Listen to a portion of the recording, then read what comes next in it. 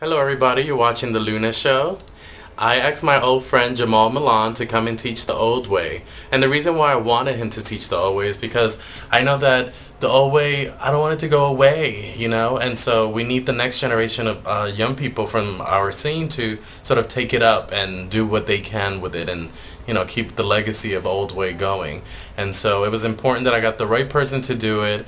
And let's see what Jamal does. I just got here. I'm so excited to teach my old way class. I'm really, really, really excited because I'm going to teach these individuals the different aspects and elements of the old way. Uh, Ten elements that I can think of the top of my head are pop, dip, spin, posing, locking. You need strength and you need style and grace. Um, there are also arts to the old way, meaning you may be doing an element of the way, but you have to make it artistic.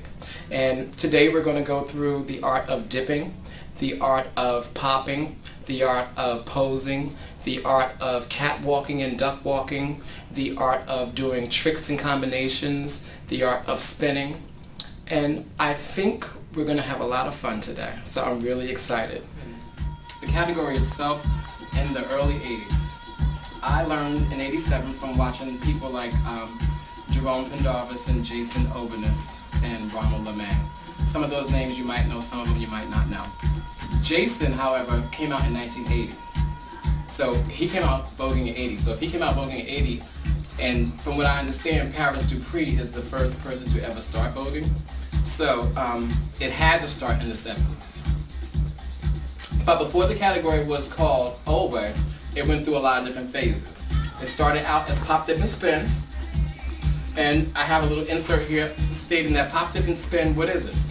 Pop, dip, and spin is a form of the dance genre vogue that allows you to express yourself to music with your body by popping, dipping, spinning, and posing to the music. That's what the category was at first. Because people um, could do stretches and things like that, they changed it to performance. That was around about 1987, my era, when I came out. They, they were calling it pop, dip, and spin sometimes, but a lot of times they were calling it performance.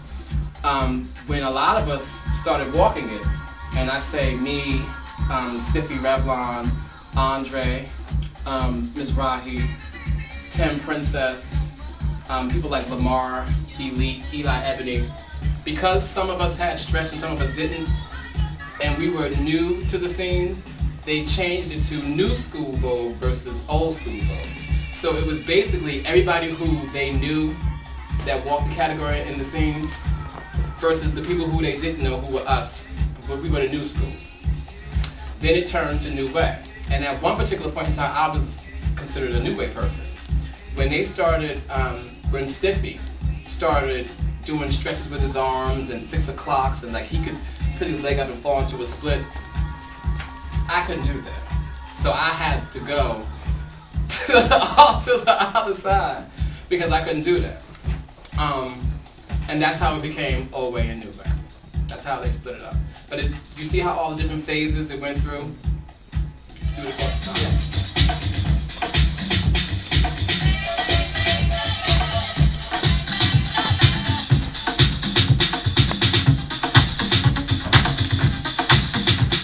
What's up? This is Scooter Balenciaga. I'm just here with my father, Jamal Milan, the icon. We wanted to start a class um, just to help continue the old way tradition. It's um, not that popular today, you know, so we want to make sure we teach many people so that way it doesn't die out. The not too many people pay attention to the category. It's that's why a lot of people pay attention to Vogue Femme. So, um, I, when I first started, I wanted to make sure that I tried to do something different, and that's why I was attached to the old way. So when I saw it, I was just like so fascinated with the lines and the techniques, and it reminded me so much of breakdancing. Um, not too many people are like really into it because they don't really know how to do it. So that's why we're here today, so that way we can reach out and teach people and get them techniques and skills, so that way the tradition doesn't die out. Try to be exciting with your moves and combinations. Use your imagination.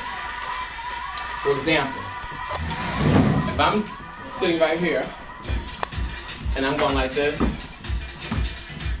this is cute, right? But if I want to use my imagination, I'm going to do something else like. You know what I mean? Use your imagination. I'm still doing pretty much the exact same thing I was doing, but I'm just just doing a little different. But I'm listening to the music at the same time going. See how I'm listening to the music, but I'm still voguing and I'm still counting in my own way. One, two, one, two. Now walk.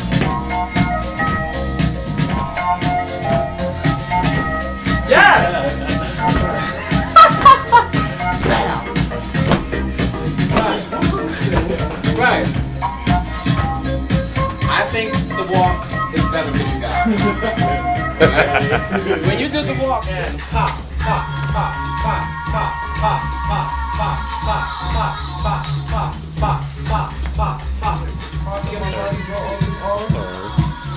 You wanna come look at the other side of me to see how my look at the other side of me. See how his body's on that elbow right there?